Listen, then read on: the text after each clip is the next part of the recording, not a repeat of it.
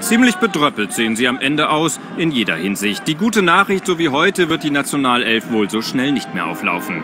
Der junge Sané nur einer der ungewohnten Namen in der Startelf Kimmich und Torwart Bernd Leno sogar zum ersten Mal im Nationaltrikot. Auffällig zunächst zwei andere Sorgenkinder. Mario Götze nach dem Rippenbruch und dem Beinahebruch mit den Bayern sehr aktiv. Nur per Foul zu stoppen, Elfmeter. Mario Gomez mit der Führung. Jogi Löws Laune sinkt nach 40 Minuten, denn die Slowaken plötzlich gefährlich. Hamsik mit dem ersten Schuss aufs deutsche Tor. Leno in seinem ersten Länderspiel chancenlos. Bei der nächsten Szene allerdings nicht ganz. Ecke Slowakei, Kimmich lässt Durisch laufen, Leno bekommt die Fäuste nicht hoch. Die beiden Debütanten ermöglichen die überraschende Führung der Slowaken.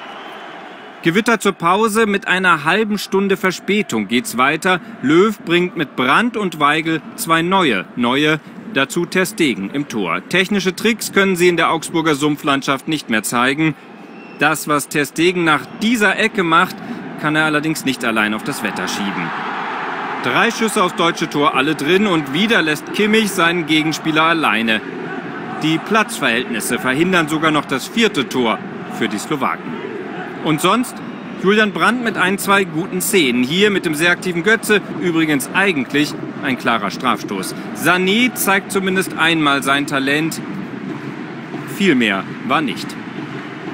In der ersten Halbzeit fand ich, haben wir ein paar gute Aktionen nach vorne gehabt. Also das war schon auch gut, ein paar gute Laufwege, einige Möglichkeiten rausgespielt. Defensiv waren wir nicht so gut heute. Gerade in der zweiten Halbzeit war es schwierig, klar, das steht außer Frage. Aber nichtsdestotrotz, es war eine Vorbereitung, ein Testspiel für uns und äh, wir können einfach nicht 3-1 verlieren. Das geht so nicht. Eine 1 zu 3 Niederlage in einem skurrilen Testspiel, das wenig Erkenntnisse bringt. Bis zum ersten Spiel bei der Europameisterschaft bleiben noch genau zwei Wochen Zeit.